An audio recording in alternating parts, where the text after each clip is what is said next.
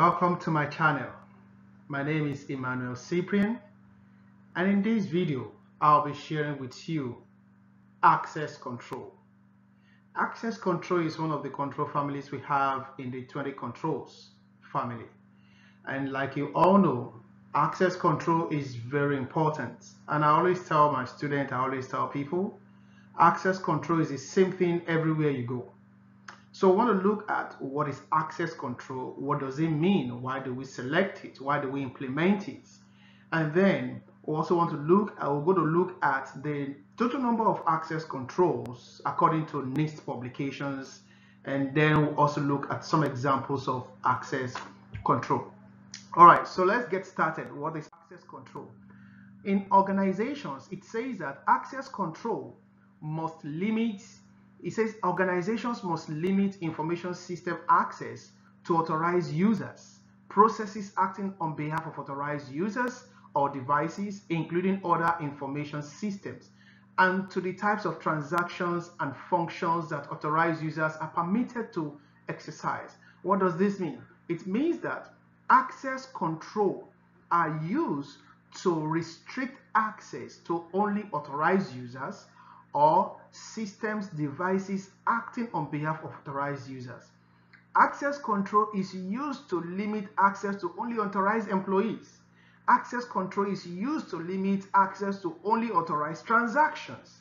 Take for example, whenever, let's say you need to swipe your badge in front of your office at a device before you get entrance into the office, that device is access control device. It's limiting access to only authorized persons into that office building.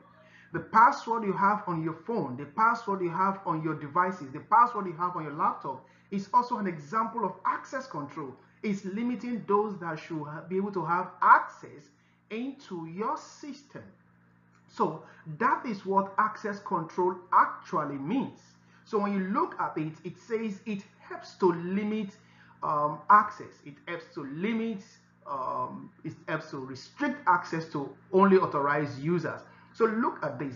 It says the controls are allocated to low impact, moderate impact, and high impact security control baseline and privacy control baseline as appropriate.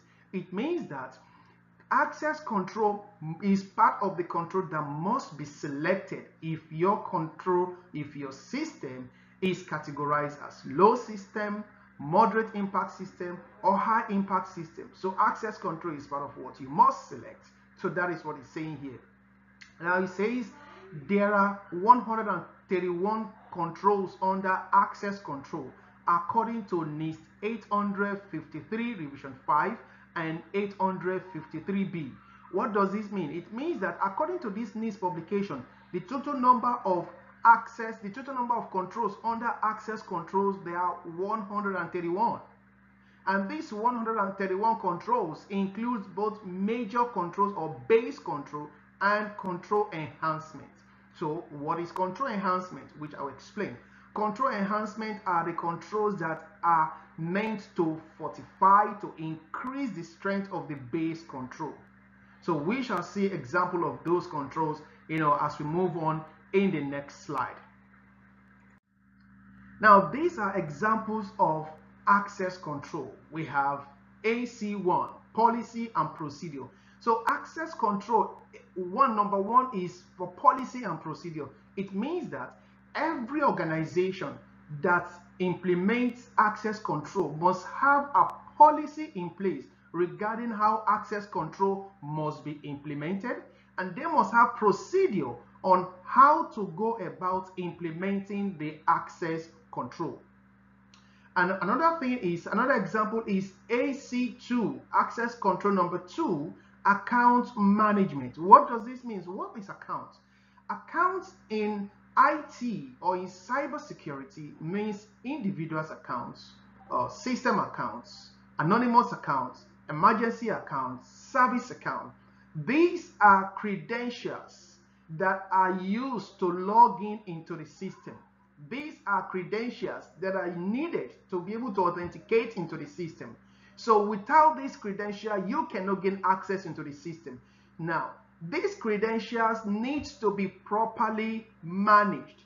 These credentials needs to be properly, you know, uh, created. So that is what this AC2 is talking about. That which of these credentials do we need? Which of these accounts do we need? So now let's look at the enhancement. Here is AC2 enhancement 1. What is AC2 enhancement 1? Automated system account management. It means organizations must have an automated software, must have a software or tool that is used to manage accounts, such as Active Directory Group Policy. Um, that is uh, an example of you know software or application that is used to manage users and systems accounts in any organization. We have another example of access control, which is AC2 Enhancement 2. It says automated temporary and emergency account. It means that if any organization chooses to have a temporary account or emergency account, those accounts must be automated. There must be an automated way of managing them. So it shouldn't just be you create them, you don't have control over them. No. And then another example of um, access control is AC2 Enhancement 3, disable accounts. What does this control means? It means that accounts that are more than a specified period of time without being used or idle must be disabled. That is what this control is talking about. Meaning that organizations should not just leave accounts idle, should not just leave accounts unused. Let's take, for example, they hired an individual or one of their employees is going on maternity leave or paternity leave that will take that will take them off work for like three months.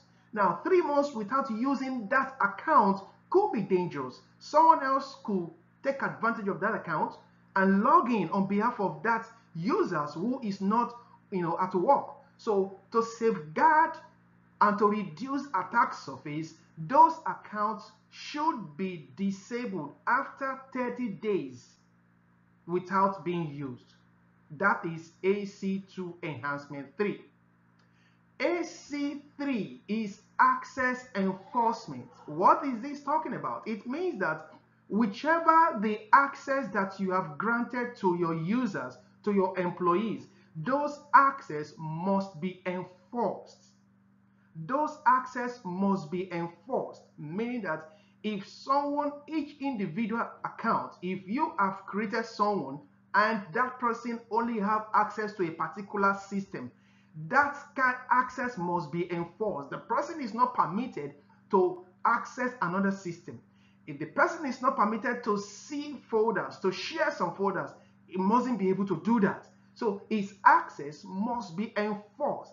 That is what access enforcement AC3 is talking about. So these are few of the controls we have under access control families. And these access control families are meant to restrict access, meant to restrict transactions to only authorized users. And it is mandatory that every organization select and implement access control. If this video has been helpful to you, Please don't forget to subscribe to my channel, like this video, and turn on your notification button so that you'll be getting more content from TighTech as they are being released. Thank you.